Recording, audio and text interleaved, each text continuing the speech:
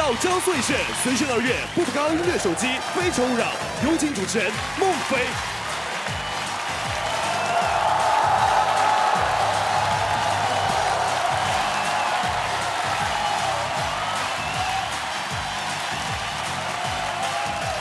欢迎收看大型生活服务类节目《步步高音乐手机非诚勿扰》。大家好，我是孟非，欢迎各位，欢迎你们来到现场。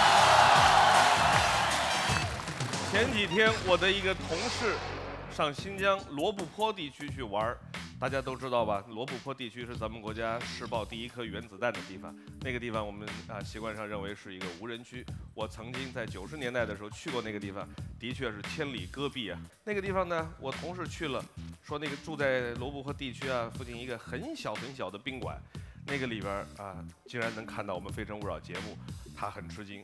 当地的朋友一听说他是江苏卫视的，然后就听说还是《非诚勿扰》栏目组的，哎呦，特别高兴，对他特别热情，一定要我的同事回来转告我们说，在当地在罗布泊地区若羌县那边啊，很多人都收看我们节目，都喜欢《非诚勿扰》节目。关键是他说那一带啊，有很多单身的小伙子都想上我们节目，一定让同事把这话带回来。我想告诉呃罗布泊那边的朋友们，这话带回来了。我今天在节目当中说，希望他们能够，如果愿意报名来到我们的节目，来到《非诚勿扰》的舞台上，我们会一定尽力帮助他们找到自己的幸福。有请今晚二十四位美丽的单身女生，有请她们。有请今晚二十四位美丽的单身女生，有请她们。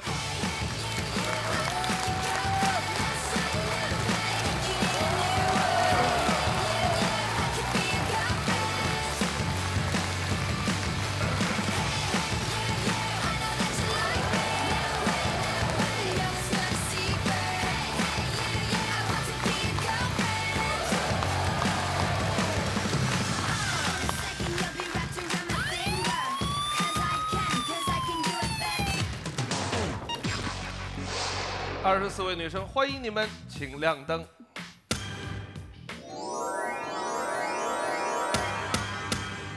宣布一下我们的奖励规定：男嘉宾第一轮亮相获得不少于二十二盏亮灯；牵手女嘉宾离开之后，他们都将获得娃哈哈营养快线、幸福浅浅提供的爱琴海之旅；女嘉宾将获得奥康鞋业特别提供的时尚水晶鞋，作为爱情纪念。我们也希望所有的观众朋友在我们节目播出的过程当中，登录《非诚勿扰》在新浪上的官方微博，参与我们的节目互动交流，给我们提出宝贵意见。现在做好准备，开始我们今天的节目了。有请一号男嘉宾。大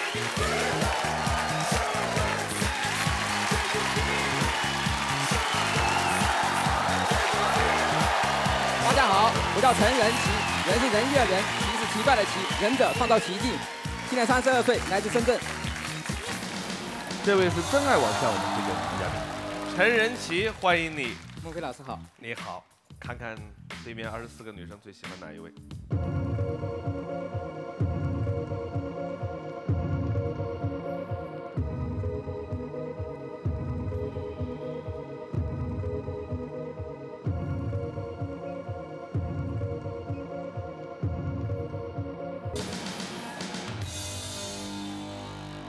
二十四位女生对陈仁奇印象如何？请考虑。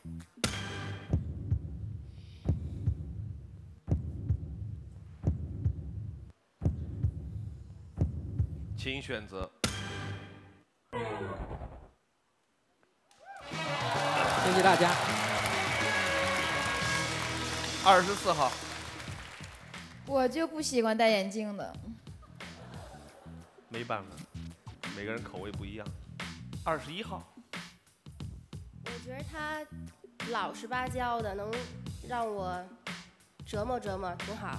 看看，谢谢谢谢。你知道他老实的外表下面隐藏着什么样的内心的时候，你就会为你刚才说的那句话深深的后悔。到时候不知道谁折磨谁呢。十三号，我就喜欢戴眼镜的，斯斯文文的看起来。有明白人，谢谢谢谢。没关系啊，有人喜欢这个，有人不喜欢这个。来看他的基本资料。大家好，我叫陈仁奇，现在在一家信息科技有限公司担任总经理职务。我对知识追求非常强烈，但对物质生活要求不高。我每个月大概会买二十多本新书，还会借二十多本书。因为喜欢读书，所以我把公司都开在了图书馆的旁边，这样借书、读书都很方便。我认为世界上最神奇的是知识，是书籍。我有读书，我可以一个人不吃不喝。我不但爱读书，还爱去听各种讲座。我认为读万卷书不如行万里，行万里路不如阅人无数，阅人无数不如名师指路。所以我现在每个月去学习各种讲座。我听讲座有几个标准：不要钱的讲座我不会去听；没有出书或者出了书在网上没有评为五星级图书的老师的课我不会去听；年龄小于三十五岁老师的课我也不会去听。当然，没有大学学历的老师的课我也不会去听。我是那种宁可天下人负我，我不负天下人的人。我有一个梦想，就是改变世界，因为我想帮助世界上所有的人。谢谢大家。我就觉得吧，爱读书真是个好习惯，听讲座也是个好习惯。他有几个什么不听呢？三十五岁以下的不听，不要钱的不听。还有什么出了书没出书的书不到五星级级别的不听。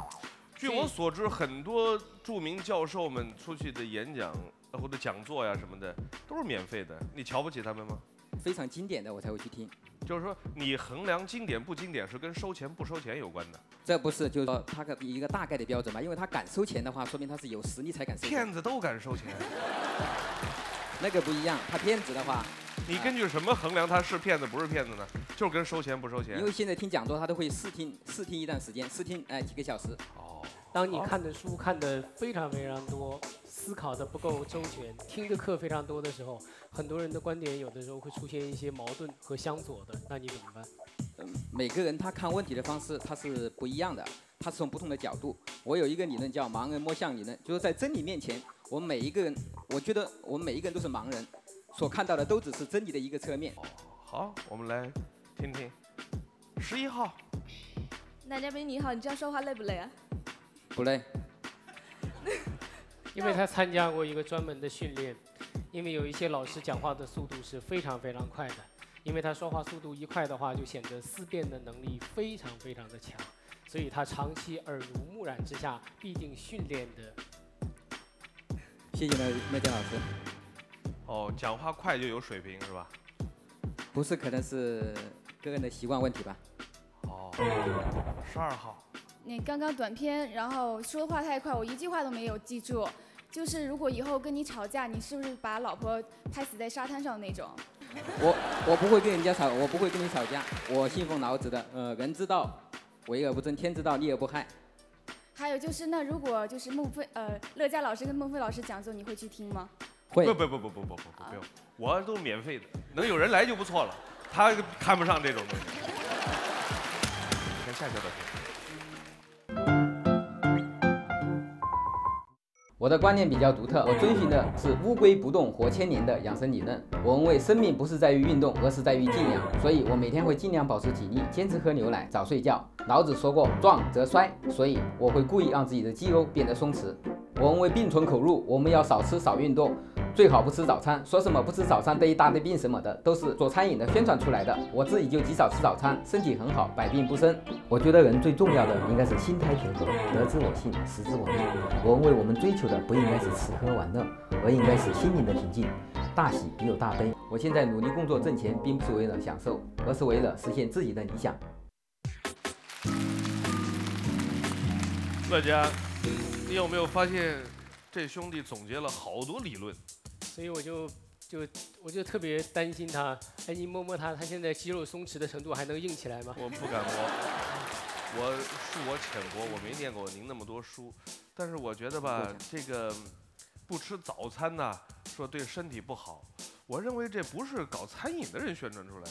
我的胃不好，医生告诉我，我事实上证明下来，多年在过去的过程当中，就是不吃早餐。造成的。自从我跟着孟非养成好习惯，吃了早餐以后，我现在变得健康了，好多了。对呀，这是发生在我身上真实的事情啊。关于这个吃不吃问题，我是有专门请教过一个八十多岁的老中医，他说，呃，吃饭实际上不是很重要。他说你只要是饿了就吃，不要饿着了就不要紧。我给你举这么个例子，我认识一个活了一百零二岁的老人，他一辈子从十八岁开始抽烟，一天一包烟。每天半斤酒，从十八岁一直活到一百零二岁。我现在告诉你，每天抽一包烟，每天喝半斤白酒，可以活到一百二十岁。因为我确实认识这么个人，你同意我的说法吗？嗯，你认为我的这个说法很同意？嗯，但是我认为这个还是有，他你会好起来的。我真的很担心你读了这么多书，看了听了那么多的课，对你的前途表示担忧。你接受了太多的东西，你自己没有去吸收，而你接受的所有的东西，你的第一本能反应，你认为他给你的东西一定是好的，一定是正确的，一定是英明的，一定不会有问题的。很难得看到三号举手哎，您怎么理解有氧运动呢？他说过他不要运动，他说只要静他追求松弛的肌肉。对我追求静养。老子说壮则衰，所以我希望是静养。我以前也是经常运动的，运动很多，发现运动把他害了，所以他现在也没有害，我觉得那样会更好一点。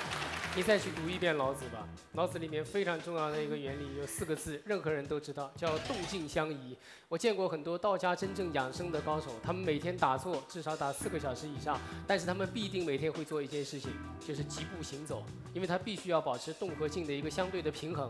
没有平衡状态坐在那边，就会成为木乃伊的兄弟。不是我说静养是在一种一种根本性的理念，就是说不要太运动过过量。我这个理论来来源于是两个两点，一个是李小龙，他的身体太强壮；再一个是那个以前是早上健美五分钟的马华，我去看过他们那个最终那个死亡的原因，都是因为运动过大。来，我们有一个运动学的博士，六号。有些观点我非常不同意。你你说喜欢那种像乌龟那样静养千年，第一个人不是乌龟，啊、人就是人，是两个不同的物种，人也不可能像乌龟那样生活。大家说对不对？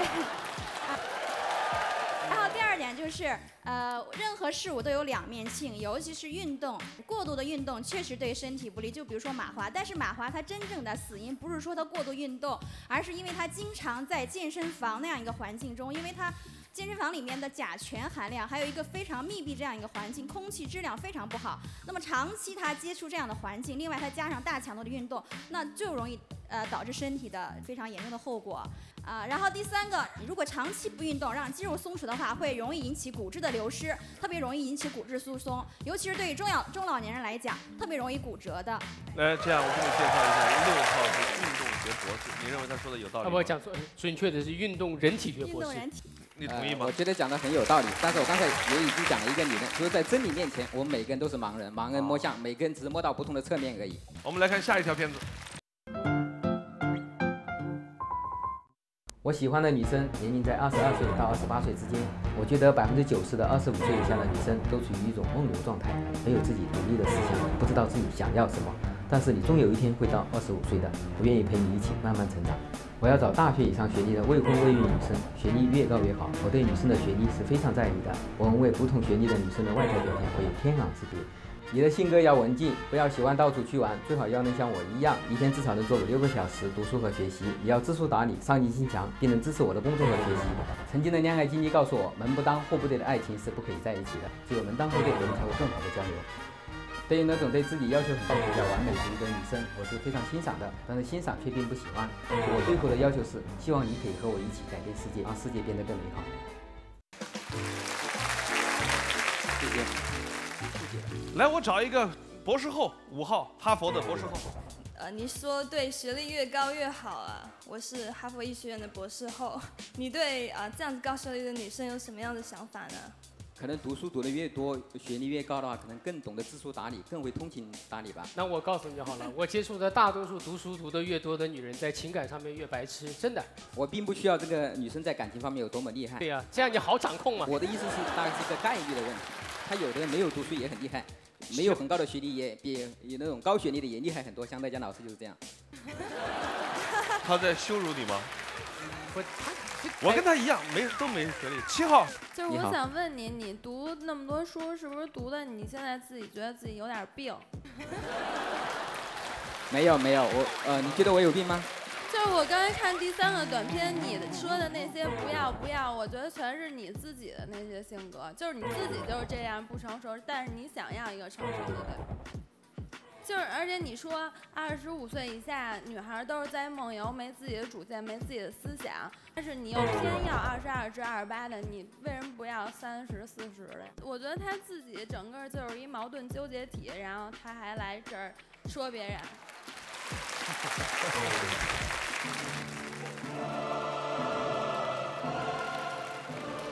呃，我想讲给你听，大多数做培训的人都希望来赚你的钱，你就会被专业人士称为叫课虫。所谓课虫，就是他的人生所有的乐趣就是天天听课，然后在听课的过程当中有无限的成功的感觉，他以为自己离成功已经非常非常近了，但实际上面你可能距离越来越遥远，因为有的时候做比听要重要的多。是的，我现在听课也是越来越少了。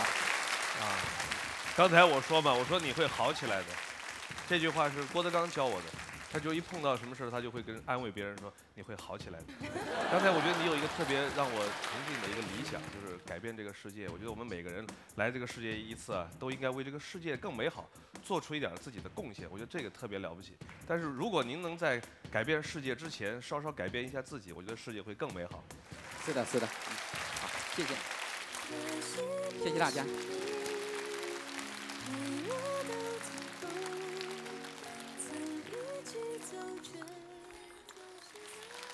平时讲话也没根本没有那么快的，像现在一样比较正常的语速。对于学历这个问题，呃，只是要求有大专以上学历就可以了。因为我我也是读了很多书了的。如果说对方没有大专学历的话，可能我们之间沟通会比较困难一点点。关于那个呃女生，她讲了她的运动学理论，可能是她从她的专业的角度进行阐释，我非常尊重她的意见，但同时也对自己的意见有所呃坚持，因为我我的每一项总结出来都是花了大量的时间进行总结的，而不是说随口说说的。有请下一位男嘉宾。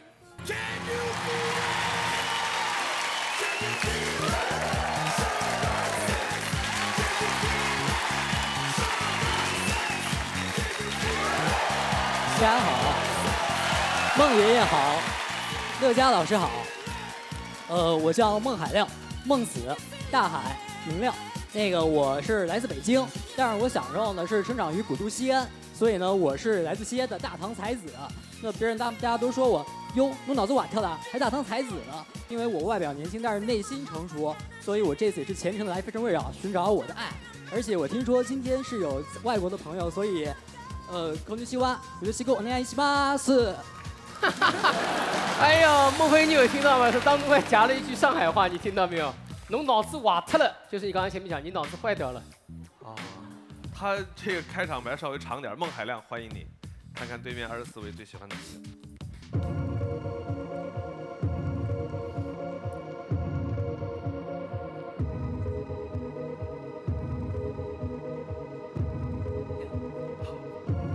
小伙子有点紧张，手在颤抖。刚前面说他几岁？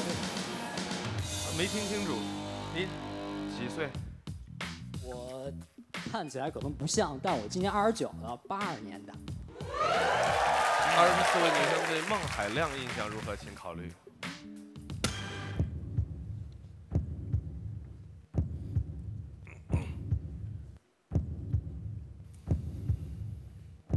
请选择。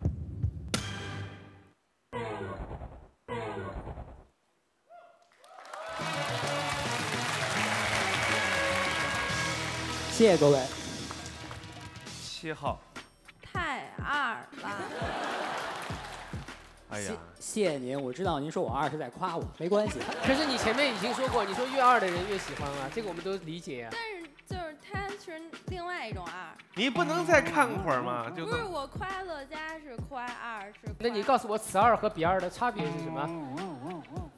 就是他比你还还要，他比我还要二。你你这样好吗？你能尝试性描述一下这个字儿的定义吗？就是每个人搁每个人身上二的定义就不同。哦，我明白了。他认为这个世界上所有人都二，但是每一种二是不一样的，是这个吧？差不多了。你你你不觉得这个话说出去会伤害他吗？我觉得他应该是看着小，但是可能没没就是没准儿有一颗强大的内心，我也看不见。对啊，就是所谓的外表年轻，但是内心成熟。谢谢您。好，我们先来看他的基本资料。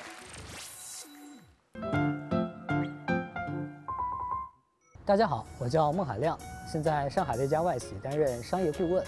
那我的工作主要内容呢，就是和政府以及企业的客户进行谈判上的咨询，偶尔出差。曾经有一次两天跑了三个国家，别人们都戏称我为“音速小子”。那我特别喜欢在海边玩沙滩车，它玩起来特别刺激，而且也没有任何的压力。说到恋爱呢，我的恋爱次数是一点五次。那为什么会有个零点五呢？那因为高中这段的感情呢是非常朦胧的，所以我称它为零点五。那另外说到这个一呢，其实就是我前女友。呃，其实我们呢是在香港旅游的时候认识的。本来我们打算今年十月一号结婚的，但是呢，由于去年年底他们收到了一个特别好的去美国的机会，爱一个人到底是应该留住他，还是让他走呢？这是他的梦想。我考虑再三，于是决定和他分开了。我觉得和他分手是我这辈子做的最伟大的一个决定。他提出来的时候，他还打算跟你在一起吗？他就没打算走。但是你没有留的原因，是因为你担心耽误了人家。对，因为我只是一个外企的精英，这个精是吃惊的精，呃，老鹰的鹰，所以我觉得像这样一个好的机会，我是没法给他的。对，而我觉得你只是一个外企的一个白领，然后他可以出去镀金，对他个人的发展来讲可能会更加意义重大。你把他留下来了以后，万一以后跟他过的日子可能不像他出国这么好的话，不就把人家闺女给耽误了吗？像那么好的机会的话，我觉得我不想因为我自己的所谓的想要拥有它，而让他丧失这样的机会。所以当他发现你也没有努力去留的时候，然后他内心深处他的心也碎了，他就走了，对而且他可能还会埋怨我，因为我没有告诉他真正的原因。我是一个内心非常纯净的人，所以我希望我爱的人会有一个好的归宿。而且呢，经历过很多这样的剧情，男主角都是这样做的。除了电影里演的、电视剧里边演的那些东西之后之外，除了国外的优越生活之外，还有一种东西叫人间挚爱。我想起来了，有一个东西可能比这个人间挚爱更重要。他可能也是爱这个女孩的，但是他觉得让这个女孩走掉了以后，自己心碎的感觉，她爱这个心碎的感觉，她而且有对对对，崇高感超过这个爱情。其实我不同意您的观点，但是我我尊重您说话的权利。我并不是想要尝生那种心痛的感觉，只是当初，比如说在看《泰坦尼克号》的时候，我就在想，为什么杰克这么帅，他会去去救这个 Rose？因为当初还是在初中九六年的时候，我当时根本想不懂这样的问题。但是很多事情一旦你经历过了，你才会觉得有意义去这么做，有意义让你做出这样一个决定。可能痛苦的是我，但是如果能实现他的梦想，是一件非常伟大的事情。谢谢各位。十二号，呃，很多女孩子都会喜欢男人，可能她想要离开的时候，她喜欢男人紧紧地拽住她，不要让她走，但是你却偏偏选择放开她，我不能理解。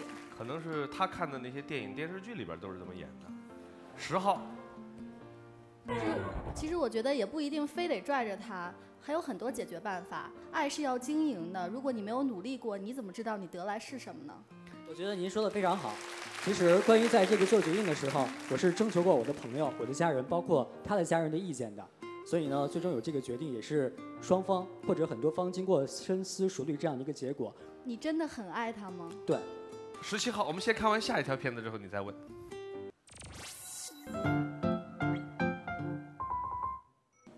你今天怎么这么开心啊？哎呀，中彩票啦！哎，兄弟，升职加薪了？No no no！现在我就喜欢艾伦只和一个人有关，她就是我的白雪公主。我第一次看到她呢，也是她第一次登上这个舞台。当时呢，她穿了一身白色的连衣裙，而且她说话特直特逗。我想，哎，这不就是我心目中的白雪公主吗？而且呢，孟非当时还调侃她说：“这女孩有点大舌头吧？”她却说：“我们北京女孩说话就这样。”其实也就是从那天开始吧，我的情绪就完全被她掌控了。我觉得我的白雪公主特别特别真实，而且我感觉她人品特别好。我一直期待着可以和她近距离对视的感觉，这种感觉一定非常的美好。现在呢，我要喊出你的名字，邢艳玲。在这个舞台上，我只选择你，不管怎样的未来都会和你在一起。我选了一首歌，希望可以唱给你听。总有些惊奇的际遇。在刚才一上来，他对你说关于，对，呃，你当时的心里作何感受？呃，其实可能预料到了，但是呢，但是事实上这样发生之后呢，还是会有些失落的。呃，我在想，因为我看起来比较小嘛，我想他可能不会喜欢我这种类型。但是即使没有带走，撞死了，也是觉得死的壮烈。对，死的壮烈，而且我要把我心里想的什么，我都要告诉他。我要知道，我一直在关注他。谢谢您。我想今天你来到这个现场，你当着他的面儿，你再说一下七号最吸引你的是什么？邢艳玲最吸引我的是她说话特别直，就比如说今天开场时候对我说的那些话似的。其实我很喜欢这种说话的风格，我觉得这种性格的女孩一定就特别的直接。而且我之前就希望，呃，不希望有什么太好的结局，我就希望可以呢，在节目中见到他，和他有一个对话的机会。这个听上去和跟前女友也是不要什么结局，他幸福就好。到这儿来带不带走他也无所谓，反正见了就好。有没有结局无所谓。心碎的感觉。哦，不是这样的，不是这样的，因为他已经灭我灯了，所以呢，我也只能这么说了。这么说呢？如果说还有一次让我再表现一次的机会的话，我可能。这是你的，打开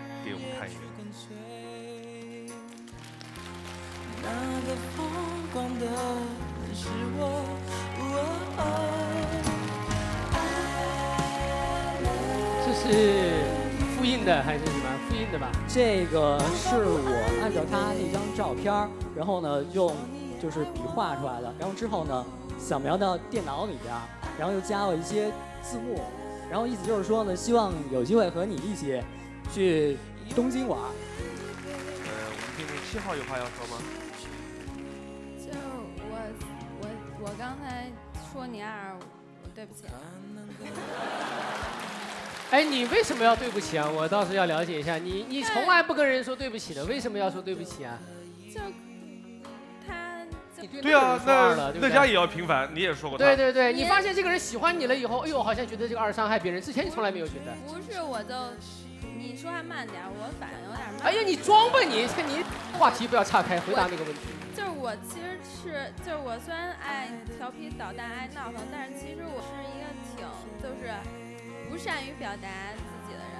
就是我想跟他说谢谢。先说对不起，再说谢谢。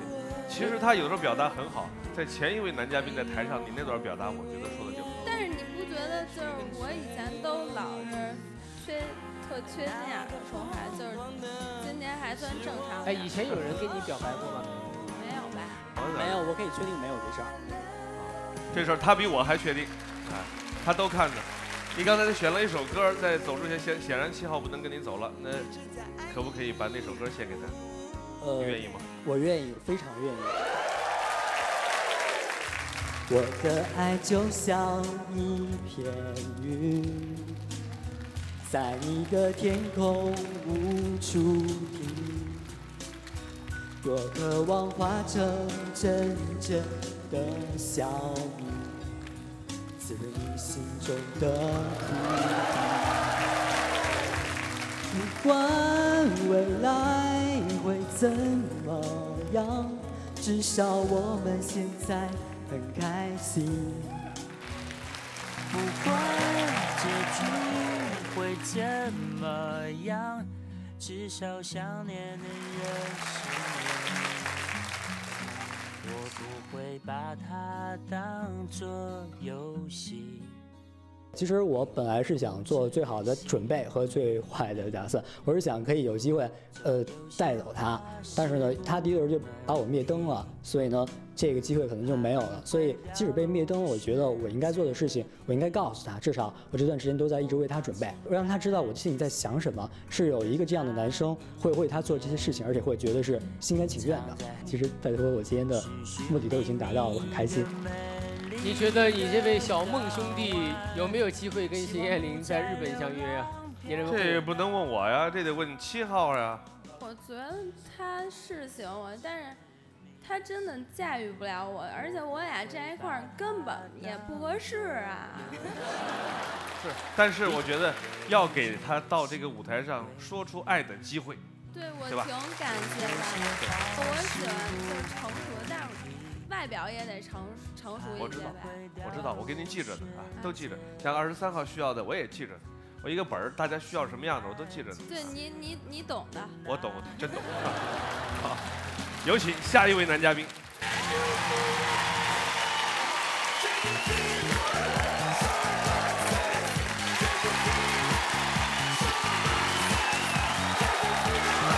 各位观众，我是来自江苏常州的胡凯越，今年二十六岁，谢谢。这位男嘉宾来自百合网，欢迎你。嗯，欢迎。谢谢谢谢。已经不止一个人上来说，会跟跟我说欢迎你，特客气，特客气。我有一样礼物要送给三位老师。好，我已经看出来了，这个里边三个是我乐嘉和黄老师，还有一个是心动女生，对吧？啊，对的对的，您太聪明了。太客气了，这兄弟。你当然聪明，这里面还有另外一种可能性，他一个送给你，一个送给黄汉，一个送给《非诚勿扰》，一个送给女生，送给我不知道什么里面。没有没有，乐老师被这件事情伤害过，送送给我和黄老师一人一个这么大篮球，然后说，哎，怎么有两个？他掏掏掏掏一这么大的，这给你。这些我很介怀。是因为他那个那个男男嘉宾特别喜欢黄老师，呃，就认为乐老师经常欺负黄老师，他就用这种方法报复。我说一下，这是我们江苏常州的特产，叫苏碧。呃，从前有一句民谣，就是“公苏民碧，情同伉俪”。延陵特产，花开并蒂。延陵就是我们常州，距今有一千五百年历史，呃，是中国古代八大发饰之一。呃，这是您的，孟非老师。每个都不一样吗？这是一条鱼，古代的一条鱼。孟非，你先收着，马上我再解释一下。好，这是一个梳子啊，鱼呃不，呃，您可以把它当做梳子，但是千万可以不梳头的，真的。那梳哪儿？你说清楚。啊，只做纪念，只做纪念。太可恨了。没有没有没有，您误会了。我就不说什么了，他还跟我说不梳头。您误会了，您误会了。我我这下回送给乐嘉老师。先送黄老师的，我先带他收一下。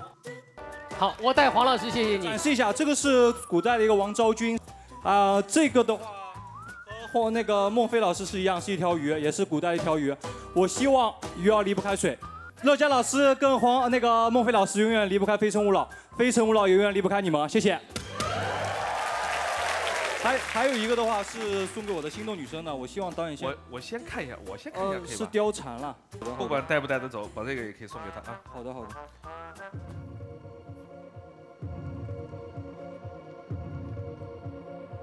我本来他在看，我也在看，我在看哪个女孩用不着梳子，一看都用得着。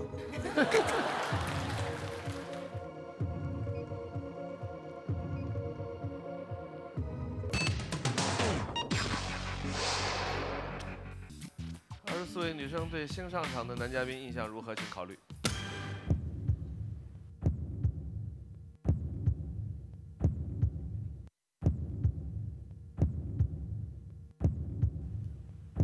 请选择。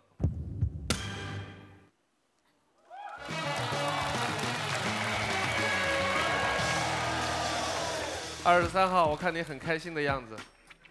他很帅，但是我知道他的心动女人肯定不是我，我也拿不到那个好的东西。来来来，我把我的送给你。啊不要不要，能不能送给我阴阳快线？那个又好喝又有营养。你说这个话，我们要为这句话跟那个公司多收一份钱。这个在观众听来，这是安排的托儿，植入式广告。哎，十八号，男嘉宾，你能不能吃胖点呀、我的身体的话是非常强壮，也许你马上在 VCR 里面会有体现。我以为他说你马上就感受到了。不敢不敢。哎呀，笑死我了！来看他基本资料。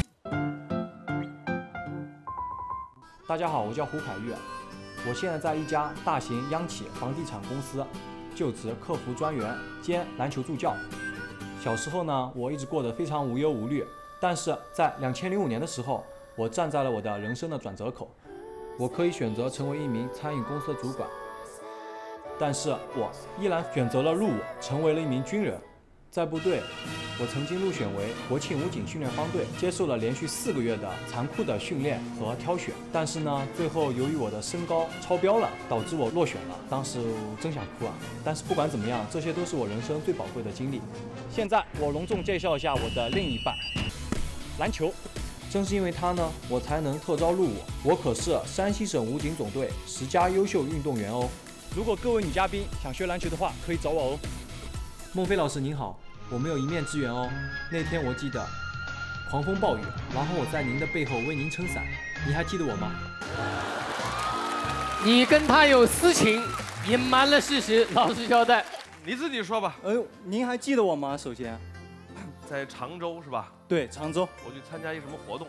对啊，你的不是打伞吧？我我感觉我记得非常清楚是打伞。这个说明了什么道理呢？这说明了生活是多么的公平。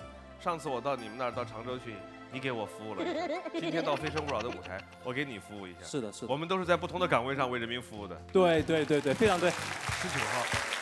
男嘉宾你好。啊，你好，你好。就是你说，呃，学篮球女生有身高有要求吗？呃，一点都没有。那你看我这样的可以学吗？非常适合我。那你愿意教吗？啊。他就那意思，就是让你关注他。我我明白了，可以可以，能学能学。哎，他刚才说训练方队，呃，身高原因没有录取，那个当时那个界标是应该是多少？什么界标标准？啊，标准就界定的标准嘛，没有文化你这个人。那叫界标啊？当然了。说标准，标标准标准的话，那时候是一米八零到一米八二，但是我一米八六。哦。超超标了，而且我都已经辛苦集训了四个月，最后才告我是超标了。我估计就是那四个月长的。我们看下一条片我曾经有过三位女友，有一位是在大学里我做教官的时候认识的，当时她是大三，我训练新生的时候，她也会经常过来看我，然后我们就走在一起了。但是由于部队的管控比较严格。我们不能像正常情侣一般经常在一起，最后分手了。我不能接受爱撒谎的女孩。我的前任女友前后欺骗过我五次。我给她打电话，她会告诉我她在公司加班，其实不然，她在和其他男孩子一起玩。我原谅了她四次，但是最后一次，我真的无法忍受，选择了分手。我喜欢诚实可爱的女孩，我不一定要她一定会做家务。但是我希望她能够和我在一起做饭，一起洗碗，一起逛街，一起看月亮星星，能够在一起做任何所有有意义的事情。你愿意和我在一起吗？谢谢。我想问一下，在部队在军训的时候，按照规定，你可以和作为教官可以和女大学生谈恋爱吗？义务兵是不允许的，但是我呢当时是一一名士官。哦，对，然后那就可以，可以，可以，可以。十八号，万一我为你离婚，然后你那个东西可不可以送给我？那看你的表现了，真的，说实话。二十二号，那你前女友骗了你四次是吗？哦，是的。你是特别爱她吗？呃，是的，因为我非常坚信一一句话，因为，呃，我感觉就是说，一个女孩子能够在你最困难，就是最痛苦，然后，因为我那时候当时在部队。她能够陪你一直走到最后，因为她在这里在家里面等了我一年，然后我非常坚信这种爱情。你又不知道这一年她你在部队，她在家干嘛了？对，你说这话，佐藤爱在旁边那头点的头发都要掉下来了。是的，就是因为这个，我回来之后才发现，因为我爱她，所以我愿意，对我愿意让她改正，但是他最后还是没有改，是这样。十四号。十八号说，嗯，如果我留灯到最后的话，然后你的答案是看你表现。呃，如果我这样说，您怎么说呢？立刻冲上去把你抱着下去。我估计每一个女嘉宾这样说，你都会这样啊？不，不会，不会，不不信你试一下。他挺聪明的，他挺聪明的啊。下一条片子。你别看我个子高高大大的。但是心还是非常细腻的，我就连对一个杯子的摆放也是有要求和讲究的。所以呢，和我在一起的女孩可以省下请保姆的钱哦，而且生活也会过得非常有条理。我有一个非常可爱的小缺点，那就是害怕小强，所以我的同事啊，一些朋友经常会拿小强过来吓我，也是经常把我吓得魂都飞没了。以后在家清理小强的工作。就交给你，我的老婆大人喽。我哥哥他非常讨厌，天天早晨五点半就起床了，吵得我根本就不能睡觉。就拿这两个月的暑假来说吧，我基本上都是处在一个混沌的状态，我真的想上楼去打他。谢谢。古小小，你从来不要说话，你要突然之间干什么？男嘉宾你好啊、我是学历高高、个子小小、活蹦乱跳的五号小小，啊、我站在台上激励鹤群，求关注。哦，关注到你，我们小鸟小鸟依人型的，谢谢。他好久没主动要说话了，嗯看来他对你印象很好。哦哈佛的博士后，哦，好的好的，非常好非常好。很好是吧？明显把他吓到了。有吓到吗？呃，没有啊，我很 hold 得住的。哦，太好了。好，恭喜你进入到了男生权利，上去灭掉一盏灯回来。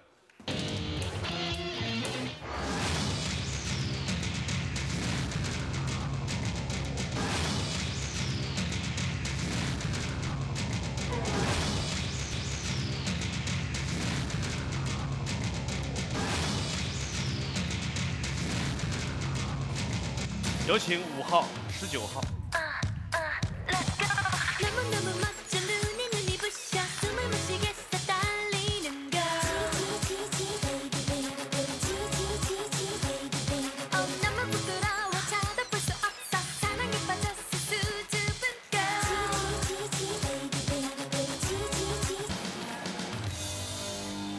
现在我们来看胡凯玉的心动女生是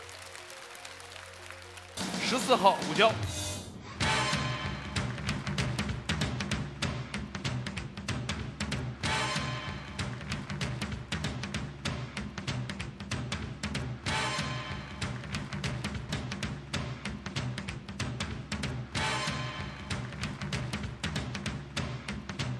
你走出来了以后，你看到他，跟他非常尴尬的点了下头，诡异而局促的笑了一下，低头走过。为什么？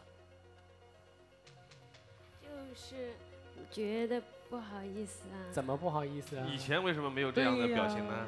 因为刚才问了那个问题啊。所以你有内疚是吧？呃，我感觉不用内疚啊，就是我感觉女孩子喜欢个男生的话，有点吃醋才会问这种问题。谢谢。谢好谢谢谢，我非常有信心。我们接着往下啊，继续看大屏幕，三个女生的十项基本资料，你选一项继续了解。消费观是的，看一下三个女生的消费观，了解一下。五号，古有男耕田女织布，今有你买奶粉，我尿我买尿布，愿意和另一半一起奋斗持家。十四号不会追求名牌或高档品，平时穿的衣服从几十块到几百块都有，生活中比较节俭，并坚持经济独立。虽然工作没多久，但已经会把收入用于投资做长远。十九号，按照个人实际能力消费，如果条件允许，购物时会适当考虑品质更好的。可以提一个你最关心的问题，继续了解。在 VCR 中，你们应该也有所了解，就是我对一个女孩子这个欺骗的话，就是那种谎言的话，还是非常接受不了的。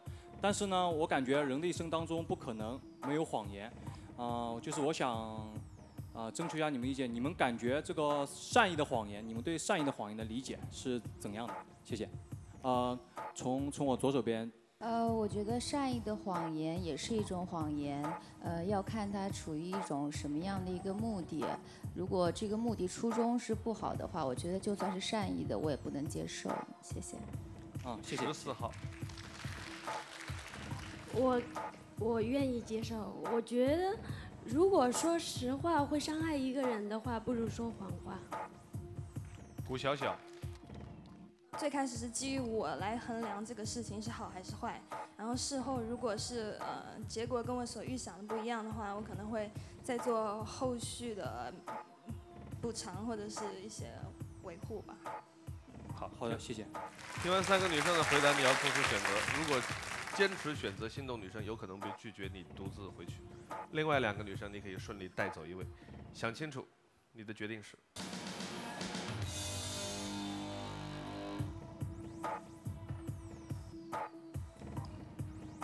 心动女生。好，两位女生请回。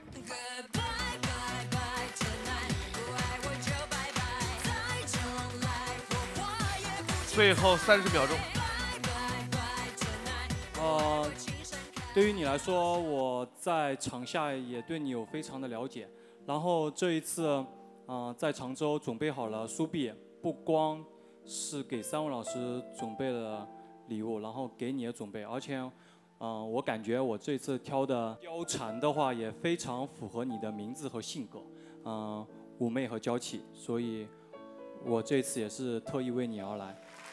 我之前听到你刚刚问我的问题，嗯、至少我可以感觉你对我还是比较有兴趣的，嗯、我我也非常喜欢你，嗯、如果你愿意跟我一起走的话，嗯、请过来吧，谢谢。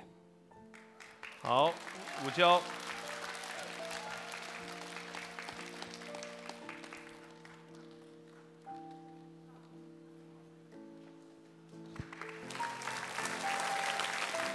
如果你愿意，就直接牵着他跟他离开；如果不愿意，我给你四十分钟想答案。就是，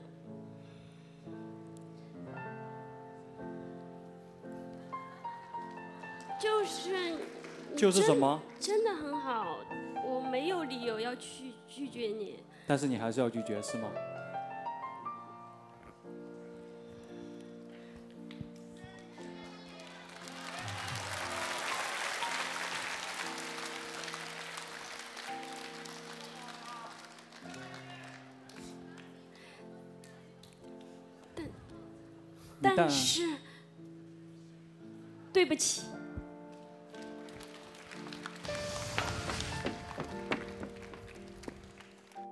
感觉意外吗？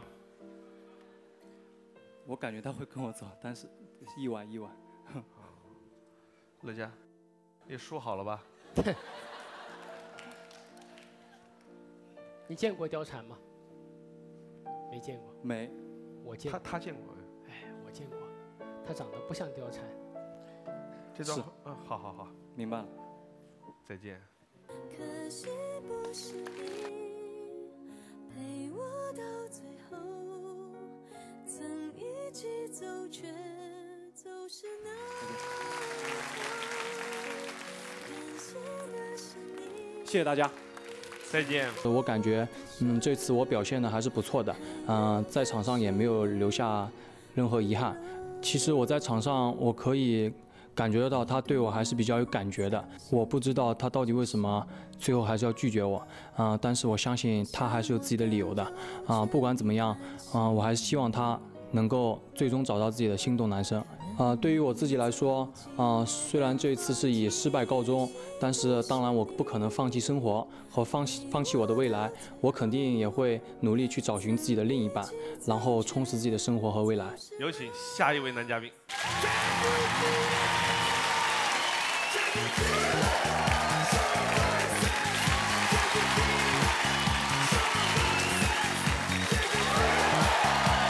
两位老师好，二十四位女嘉宾好，以及在座的各位朋友，大家好，我叫郭晋华，来自广州，今年二十八岁，谢谢大家。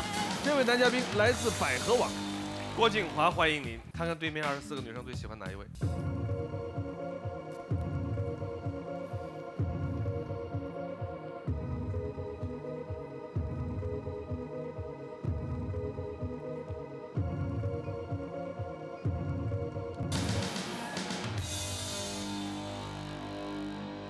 对面二十四位女生对郭庆华印象如何？请考虑。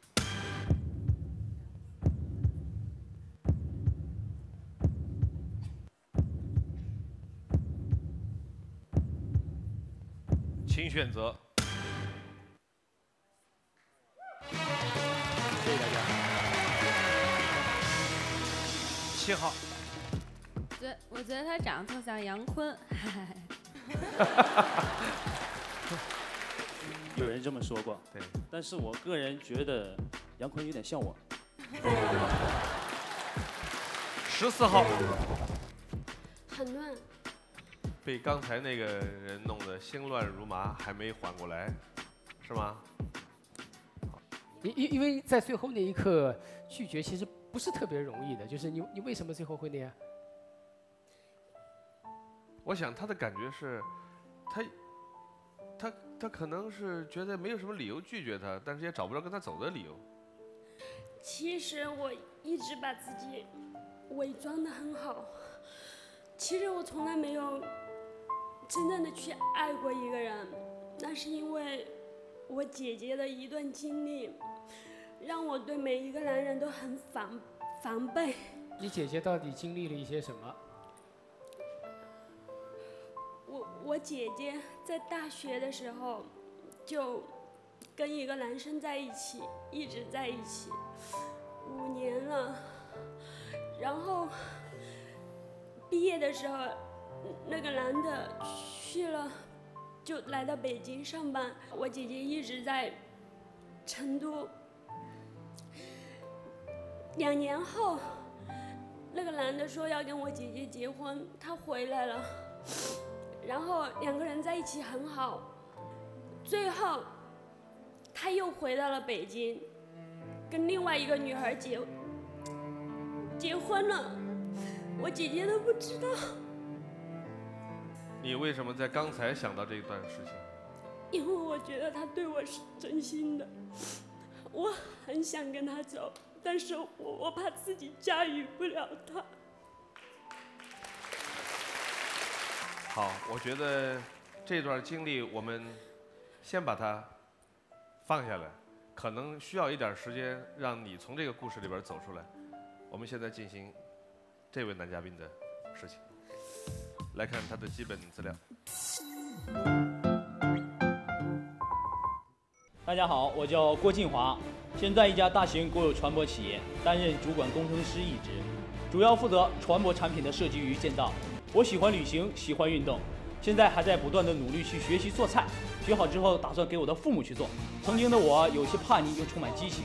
高中毕业时，我不再想花家里的钱去读书，于是我想一个人出去闯闯。我走遍各地，不断地打工，摆过地摊，住过候车室。我感觉其实这并不是我想要的生活。于是，在我挣够了学费之后，我又重新考入大学。大学毕业以后，我如愿的来到了这里。我觉得这里才是能真正体现我价值的地方。在我和我兄弟的共同努力下，我们建造了亚洲最大的半潜船和世界最先进的深水勘察船。接下来，我们还要做世界最先进的海洋工程船舶。我们要把中国由第一造船大国变成世界第一造船强国。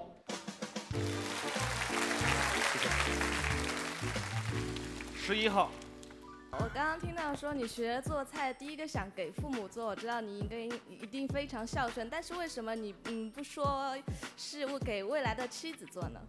因为父母给予我教育我，所以他让我学会我懂得一些知识，然后去做菜，先给他老人家做好了，然后我们菜会给我的老婆、给我的妻子去做饭。谢谢。刚才九号举手的吗？呃，我想知道你喜欢什么样类型的女孩子？比如说，就像在在拿得拿得出去，大家可以在台面上，要是要嗨的地方，我们就尽量嗨起来；要是呃端庄一点的这个场合，正式一点场合，我们就低调一点。就拿得出手，带得出去。好的，我们来看他的情感经历。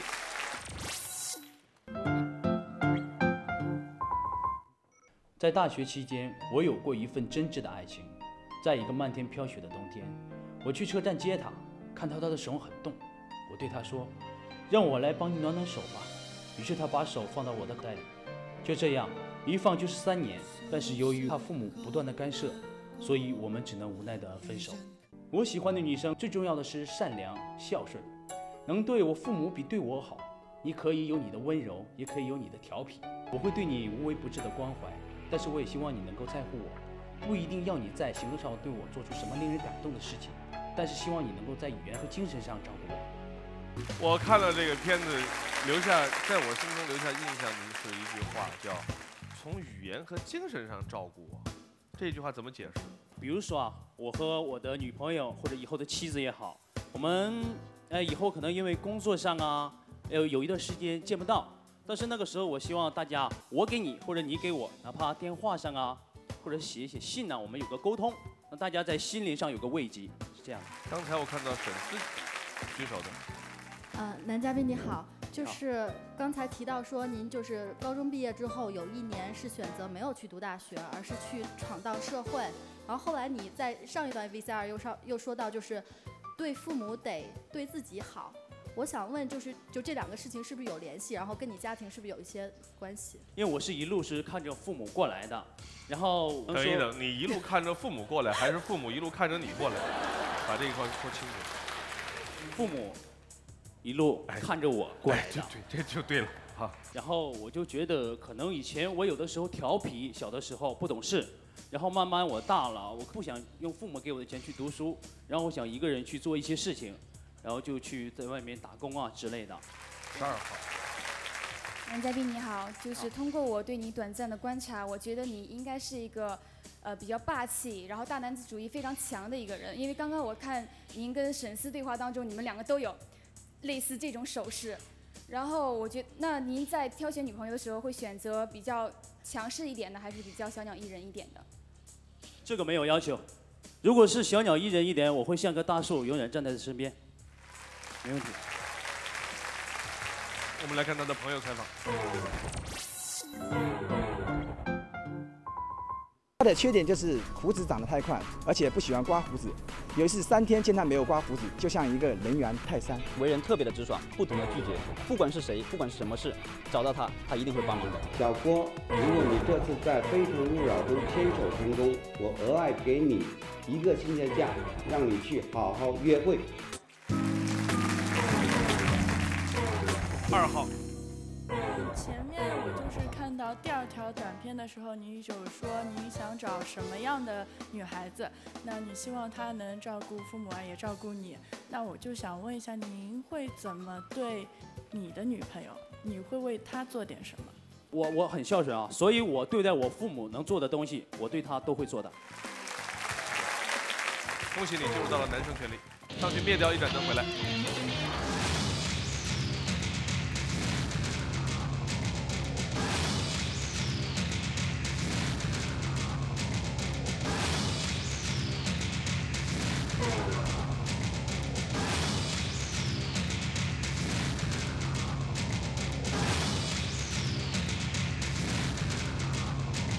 有请二号、十八号。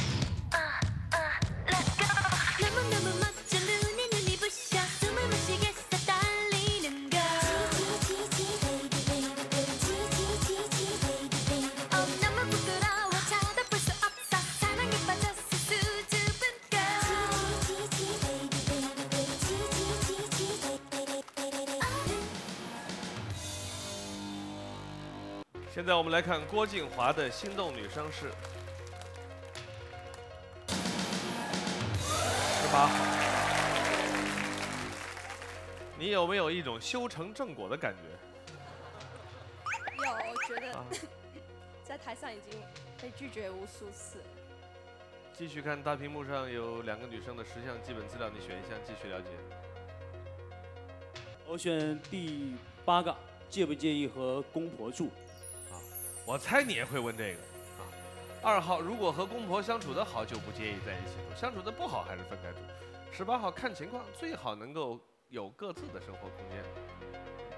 差不多，那我回答了。哎，来，你再提一个你最关心的问题，继续了解。呃，我想问一下女嘉宾啊，就是说以后我们有可能在一起结为夫妻的话，那么我知道你肯定是一直陪着我。那么我想说的就是，在我的人生或者事业上，在一个高潮的时候或者一个低谷的时候，你们会怎么做？从左边开始回答。就低谷的时候，如果我真的很很爱你的话，我会对你不离不弃。二号，谢谢。我觉得如果已经是夫妻了的话，我应该是那种，如果结了婚，我就不再就是不会离婚的那一种，就是不管你高潮还是低谷，那都是在一起慢慢的熬。这个问题如果问我的话，我会说有高潮必有低谷，我会慢慢陪着你，把每一次低谷都想办法变成高潮。他回答的最好，你把他领走吧。好了，做出你最后的决定吧，直接过去牵他离开。观众朋友，如果想了解我们二十四位女嘉宾的个人资料和联系方式，现在可以拿起手机编辑短信八幺幺七七加女嘉宾编号发送到幺零六六六六六六二零，或者登录步步高音乐手机《非诚勿扰》的官方网站给他们留言。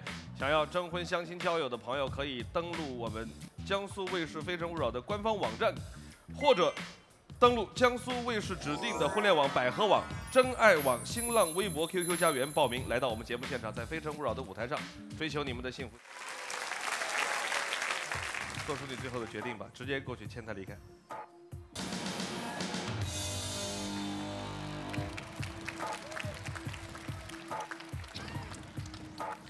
恭喜你们！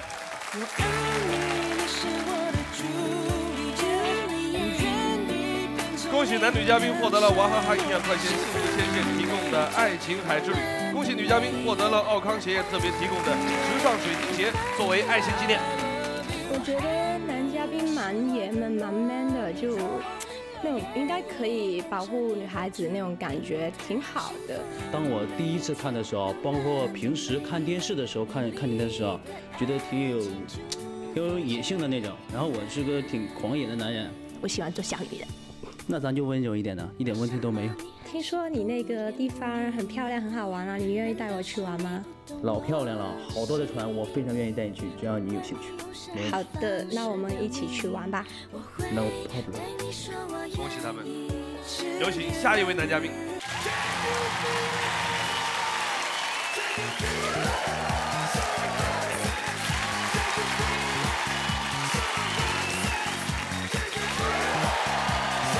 老师你们好，二位女嘉宾，嗯，观众朋友们大家好，我是来自四川成都的黄俊杰，呃，现在来到这儿追求自己的幸福，希望大家能够支持我，谢谢。你的年龄是一个谜吗？哦，今年二十五。二十五啊，欢迎你，黄俊杰。好，挺腼腆的一小伙子。看看对面二十四个女生最喜欢哪一位？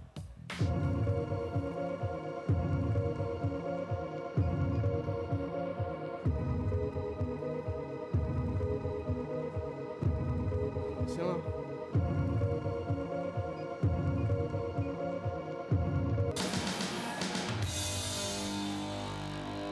二十四位女生对黄俊杰印象如何？请考虑。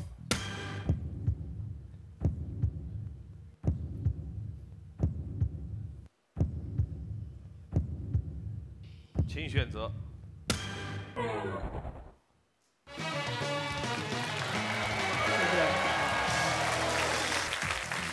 三号，我刚才看您上场的时候，好像有些紧张啊，两个手一直紧紧握着话筒，可以放松点呀。我尽量吧。你骨头是不是已经快酥的不行了？对我向你汇报一下，她说话就是这样子。这是一个著名的跳古典舞的很美的一个女孩。好，来看她基本资料。大家好，我叫黄英杰，目前正处在一个很尴尬的年龄，耍也耍不动，跳也跳不高。面对迎面而来的九零军团，感觉自己真的 out 了。朋友们老嘲笑我喜欢唱一些老牌一点歌手的歌，其实我觉得我还唱的挺像的吧。黄姐，加油！恩情吻住了你的嘴，也不能停止你的流泪。目前从事通讯监理的工作，生活将就管着起走。其实我这人有点胆小，嗯，不敢坐过山车，不敢看恐怖片儿。有时候看恐怖片儿都是这样的，然后但最后还是坚持看完了。看完以后就后悔了，嗯，不敢上厕所，不敢洗澡闭眼，睡觉的时候还留一盏小灯。虽然我胆小，但我不怕事儿，有时候也能做出惊人的举动，比如说上《非诚勿扰》。你除了阿杜还会模仿谁？嗯嗯，像张宇、刘德华，嗯，张学友。说话说清楚，张宇、刘德华、刘德华、张学友。学友这个里边，你个人觉得自己打分最好的是谁？最像的？嗯，张宇吧。张宇来一段。嗯，是哪哪一首？来一段。嗯，用心良苦吧。好。你的脸有几分憔悴，你的眼有残留的泪，你的嘴美丽中有疲惫。学友，我用剑撇去你的时间，想分辨在你我之间，到底谁会爱谁重一点？飞哥，该你了。啊，到我了。嗯，好好好，这就完事儿了是吧？啊，七号，就是看他唱歌，我想起一小品，什么？人唱歌要钱，他唱歌要命。二号，刚刚短片当中说你呃很害怕看恐怖片，完蛋了，因为我特别喜欢看恐怖片。那以后我跟你在一起怎么办呀？但我会看，我只是害怕害怕。看完之后你抱着他哄着他睡就好了。我我一般都是就是先让你看，然后我觉得，然后你告诉我恐不恐怖，然后我再去看。吃饭的时候是不是先让他尝一下没毒你再吃？对。有事儿看他吐白沫，哎呀这不能吃。有一个北京在地铁工作的一个小男孩，嗯，他说我这辈子做的最勇敢的事情，就是来参加《非诚勿扰》，但是后来据我们的调查，他可能是被他的家人强力逼迫而来的，不是他自愿来的，所以我要知道一下你的这个胆大之举，从哪里而来的勇气和动力？嗯，从飞哥。他怎么给你勇气了？其实我挺崇拜孟非的，因为我觉得他是一个非常非常勤奋，而且 A Q 很了不得，还很潇洒的一个人。我首先讲给你听，A Q 他肯定不懂是什么意思。他的 A Q 是不错了，说你的逆商不错，在逆境当中成长的商数不错。但是你前面一句话对他完全不了解。孟非是我见到过的最不勤奋的人，勤奋的人坐在这里呢。对吧？你你问问他这句话。其实我蛮勤奋的，但是和他比起来就不够勤奋。好，哎，你到这儿来跟我的关系是，你到这儿来是看是在二十四个女生当中找一个，还是为了看一下我就安心的离去？嗯，不是，是主要是因为二十四位女嘉宾吧。乐嘉的意思是你来有没有受到什么亲戚朋友的那个逼迫，或者他们怂恿你来？还是你完全出于自愿的到这儿来？没有，我挺自愿的，挺自愿的。十七号，从小到大，是不是您的父母对你照顾都很周到？你没有拿过什么主意？对，没有，啊就是没有什么自己的主见。嗯，做大，在大事上做决定的时候都要听从父母的意见啊。大事儿我自己选的学校，自己读，这挺大的事儿了吧？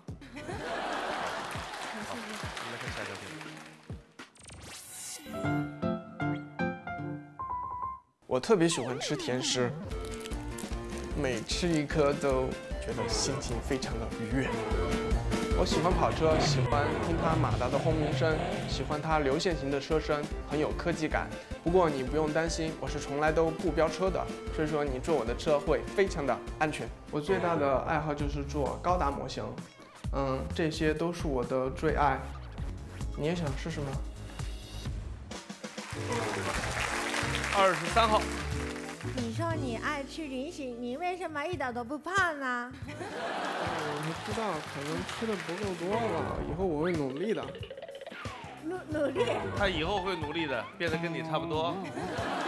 你喜欢丰满的吗？丰满的，呃，还是苗条一点比较好吧。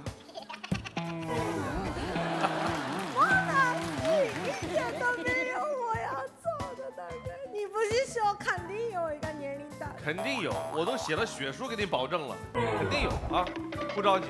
你平常跟正常人工作的时候交流讲话也是这么讲吗？不会，我会挺挺流利的。我说普通话挺难受的，我我是成都人。那你讲成都话吗？你会讲吗？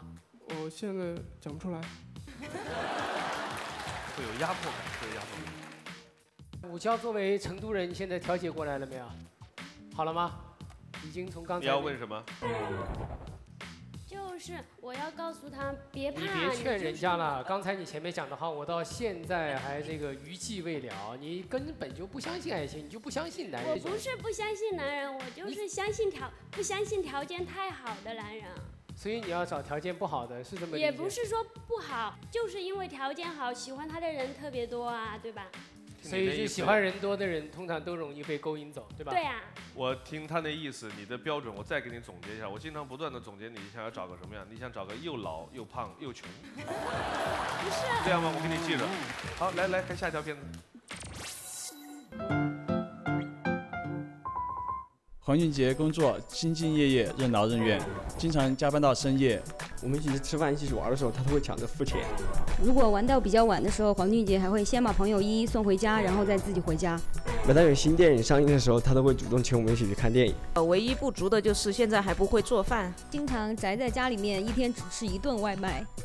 希望和女嘉宾牵手成功以后，女嘉宾能好好调教一下他。哎，你来，我我对那个小孩表演，那个男孩对我也想问这个长得那么好看，男孩那个矮的那个矮的那个是谁男孩女孩？矮的那个是我的小伙伴，小男的女的？挺小，女的，多大年龄？嗯，和我一样。啊？你那个是你的小伙伴，你都跟你周围玩的人都是跟你一样那样的。嗯，差不多年龄都差不多了。十三号，嘉宾你好，你刚才看短片，您穿休闲蛮好看的。如果你刚才从那电梯里出来穿休闲的话，我会更喜欢你。建议你以后呢，嗯，穿休闲比较好一点。恭喜你进入到了男生群里。上去灭掉三盏灯回来。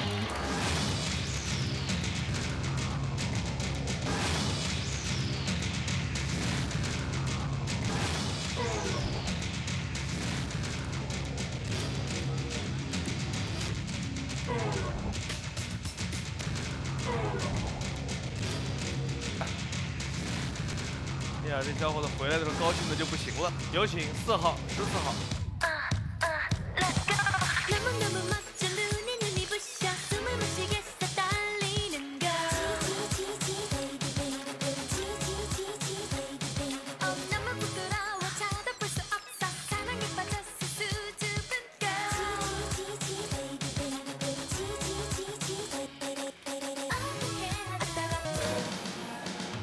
这个等一下，在揭晓心动女生之前，我我先问一下这个武娇，武娇，我看你刚才好像有这个这个面面部的表情又很奇怪，今天你又第二次出现了这个非常奇怪的表情，怎么怎么来理解啊？我忘灭灯了。对啊，我刚才看到最后就是四盏灯的时候，五盏灯的时候，你你既不灭灯也不提问，我们就我就认为就是我这儿不出问题了清醒，你还没有从上次的这种刚才的那个悲哀当中走出吗？不是悲哀就是遗憾。啊，没事儿没事儿，我知我知道出口在那儿，一个一会儿我自己走就行了。不是不是不是，我都是哎我的意思就这。孩子可怜死了。你再想象一下，如果他选择心动女生是你的话，那可能性有多大？二十四分之一吗？怎么可能零？吧，这个小子胆子这么小，怎么敢选武娇呢？对哎，不对？不一定，他有的时候胆小是装出来的，他心里边有一颗特别奔放的心。所以你的意思是，今天他在台上刚才那个说话都是装出来的？有那么一点儿可能性，其实他的内心并不像我们看到的那么脆弱啊。好，到底是不是他选谁做心动女生，有可能能说明一点问题。看大屏幕，他的心动女生是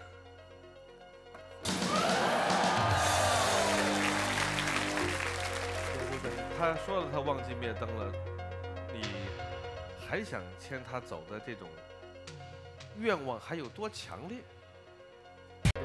他说了他忘记灭灯了，你还想牵他走的这种愿望还有多强烈？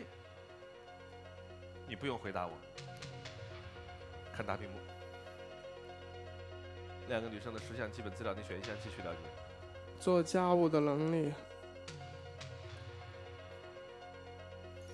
四号因为不会做饭，所以每次吃完饭都洗碗。洗碗是目前最熟练的家务，平时还会自己缝补衣服。十四号在家经常扫地整理，给小狗洗澡，因为做菜时记性不好，总是忘了放各种调料，厨艺不是很自信。你还可以提一个你最关心的问题。你什么时候容易发脾气？四号，景姐，你一直这样的时候，我就会发脾气。他一直咋样？一直一直这样不温不火，就是也不跟我就明明那事儿能吵起来，然后问特生气。来，你你会吵架吗？当然会了，很猛的。你要是不跟我走，我就踩你两耳屎，把你扛起就走。听你说什么。成都话，成都话。他说你不跟我走，我上去踩你两脚，脱了就走。错了，他说的是给你两巴掌，然后扛着你就走，这四川话。很多就好多人听不明白。好，武娇，我我不会吵架，我就是不理你。好吧，这样都说完了，自己拿主意吧。按照我们的规则，你可以带走他们当中任何一个。老要他老要问你？他跟我说，那我就没有勇气，没有心气，没有骨气。你可以做决定，他们当中任何一个你都能带走，也可以自己走，都可以，你自己拿主意。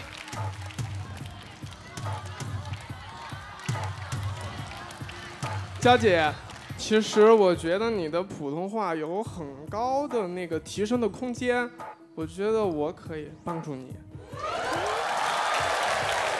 不知道你愿不愿意让我帮助？这样吧，现在你可以带走他们当中任何一个，也可以不选择自己走，都可以。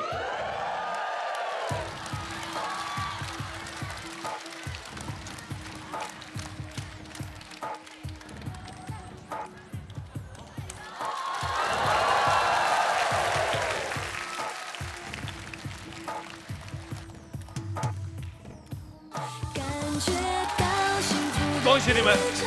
恭喜男女嘉宾获得了娃哈哈营养快线幸福牵线提供的爱情海之旅，恭喜女嘉宾获得了奥康鞋业特别提供的时尚水晶鞋作为爱情纪念。其实我知道武娇并不是很愿意为我留灯的，但是我还是想争取一下。我觉得站在他的立场，他应该是很喜欢我的，所以才这样做。有的时候错误或许就是缘分吧。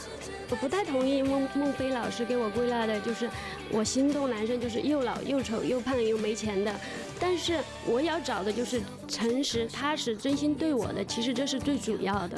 就是老感觉他肉肉的，就是如果我觉得你稍微有主见一点的话，会更有安全感。其实我挺有主见的，主要这种情况太紧张了，而且说普通话挺难受。以后的嗯相处过程，或者是更能发现他其他的优点。我觉得一个人现在不好，不代表以以后不好。我觉得每个人都在改变。